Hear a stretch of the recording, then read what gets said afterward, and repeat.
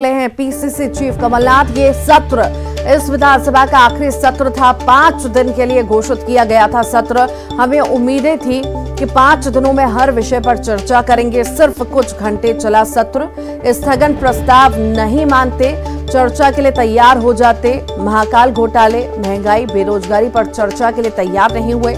प्रस्ताव का सामना तो छोड़िए। ये प्रदेश की जनता का सामना भी करने के लिए तैयार नहीं है। पाँच दिन के लिए घोषित किया गया था और हमें उम्मीद थी कि ये पाँच दिनों में हर विषय पर चर्चा करेगी। कुछ घंटों चला, दो दिन भी नहीं चला। कल कुछ घंटे चले और आज कुछ घंटे चले। मांग क्या थी? हमारी मांग थी कि जो आदिवासियों पर अत्याचार किया जा रहा है, इस पर हम स्थगन प्रस्ताव लाए। ये स्थगन प्रस्ताव नहीं मानते, पर चर्चा के लिए तो तैयार हो जाते। ये तो चर्चा के लिए भी तैयार नहीं।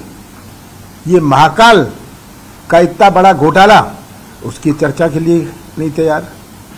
आग लगी, कितनी दसारी आग लगी, उस पर चर्चा के लिए तैयार नहीं। महँगाई पर, बेरोजगारी पर, पूरे प्रदेश में अव्यवस्था। ये किसी चीज़ पर चर्चा करने को तैयार नहीं है। ये सदन का सामना तो छोड़िए। आज तो हालात हैं कि ये प्रदेश का सामना भी नहीं कर पा रहे। भोपाल से बड़ी खबर है, तय समय से पहले विधानसभा की कार्यवाही स्थगित हो गई और इस पर गृह मंत्री नरोत्तम मिश्रा ने न्यूज़ 18 से कहा, कांग्रेस की विधायकों को मौन धरने पर जाना था।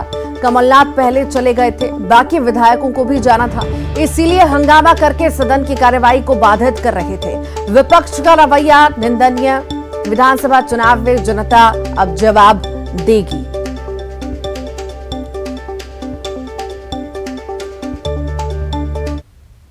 समय से पहले खत्म हो गया इतना शोर शराबा दो दुखद है देखिए शोर शराबा नहीं करना चाहिए। ये फ्लोर हमें संवाद के लिए मिला है और हमें सारगर्भित चर्चा जनहित के मुद्दों की करना चाहिए। जब हम जनहित को जनहित के मुद्दे नहीं उठाएँगे तो जनता इनको माफ़ कभी नहीं करेगी। सर लेकिन क्या क्या लग रहा है सर जो मांग पर अड़े हुए थे कि आदिवासी मुद्दे पर चर्चा करे ना चर्चा। कौन रोक रहा था? क्यों नहीं की चर्चा? आप स्वयं भी तो साक्षी हो ना इसका। न्यूज़ एटीन नहीं है क्या साक्षी। कि उन्होंने हल्ले से शुरुआत की। हमने कहा कि अपना विषय रखो। विषय रखो तो सही अब रखेंगे नहीं तो क्या होगा? सर लेकिन इतने कम घंटों में ही पूरी कार्रवाई पूरी हो गई आपको नहीं लगता कि करोगे आप? हाँ। इस इस हंगामे के लिए इनको ये राजनीति के लिए फ्लोर थोड़ी है उनको जाना था धरने पे। पहले कमलनाथ जी निकल गए। और धरने के लिए एक पर, इनको न तो आदिवासियों को खुश करना है न महिलाओं को न किसानों को इनको एक परिवार को खुश करना है। और उस परिवार के लिए सदन को फ्लोर को भैग चढ़ा दिए सर अब तो विधानसभा चुनाव में ही जाना है लेकिन ये आखिरी सत्र कहा जा रहा था? क्या मैसेज जनता में जाएगा आपको लगता है इससे? क्या कांग्रेस की निंदा करेगी जनता।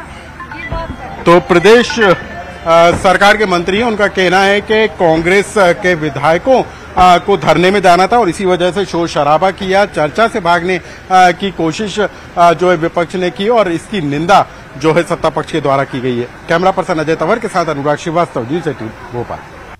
और इसी पर ज़्यादा जानकारी के लिए रंजना दुबे हमारे साथ जुड़ गई हैं। रंजना देखिए पाँच दिन का सत्र था दो घं, दो दिन भी ढंग से नहीं चल पाया। सवाल तो उठना लाजमी है क्योंकि हर बार मुद्दे अधूरे के अधूरे रह जाते हैं। जो वहाँ पर डिस्कशन होना चाहिए वो नहीं हो पाता। आखिर आम जनता उम्मीदें इससे लगाए रहती है और पक्ष विपक्ष भी कि इस पर डिस्कशन होगा कई मुद्दों पर बहस होगी। पर जस की तस स्थिति हमेशा की तरह ऐसा ही होता है।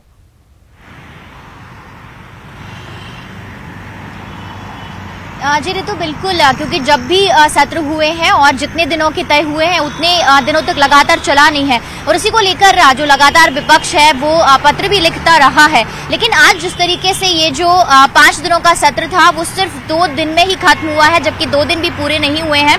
इसको लेकर विपक्ष लगातार जो हमलावर है, वो भी हो रहा है और ये आरोप लगा रहा है कि हम सिर्फ़ आदिवासियों पर हो रहे अत्याचारों को लेकर स्थगन प्रस्ताव पर स्थगन जो प्रस्ताव है वो लाना चाह रहे थे, लेकिन आप स्थगन प्रस्ताव नहीं लाना चाह रहे थे, कोई बात नहीं, लेकिन जो महँगाई है, बेरोजगारी है, सतपुड़ा भवन में जो आग लगी है, तमाम जो मुद्दे हैं, महिलाओं पर जो अत्याचार हो रहे हैं कम से कम उस पर चर्चा के लिए तो तैयार हो जाते और विपक्ष ने तो ये भी आरोप लगाया कि जिस तरीके से ये सत्र स्थगित हुआ ये पहले से प्रायोजित था पहले से ही सारे कार्यक्रम सरकार के तय थे और इसीलिए ये जो सत्र है वो अचानक से स्थगित किया गया। लेकिन ऋतु यहाँ पर सवाल यही खड़ा होता है कि सिर्फ़ दो दिन में सत्र खत्म हुआ ऐसे में जनता को परेशानियाँ ज़रूर होंगी क्योंकि जिस तरीके से जनता जनप्रतिनिधियों को चुनकर भेजती है उनके मुद्दों पर चर्चा ज़रूर ठीक बहुत बहुत शुक्रिया रंजना भोपाल से बड़ी खबर के इस वक्त हम बात करते हैं शाह।